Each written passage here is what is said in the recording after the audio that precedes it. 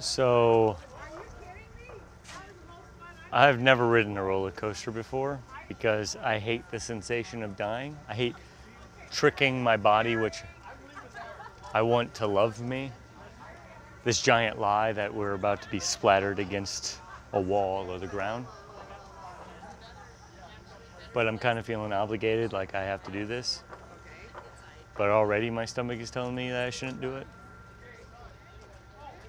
And I just saw the roller coaster go over a little bit, and probably to most people that seems like, oh, that's that's a, it's a little kitty hill there, a bunny hill.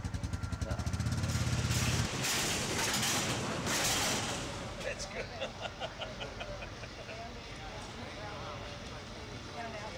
Shoot, I, I guess I can't go now. Sorry to disappoint everybody.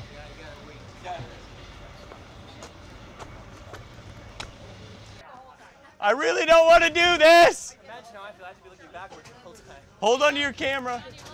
Hang on to my glasses. Oh God. Oh God. Oh no. Oh crap.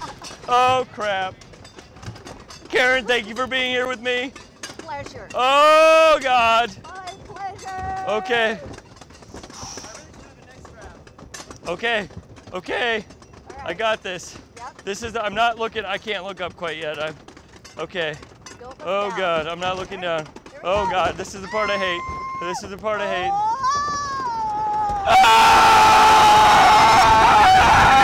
Oh! Oh God! no! Oh God, no! Ah!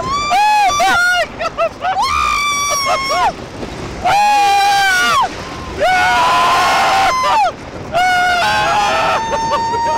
Oh, Oh, I'm sorry for swearing. Ah!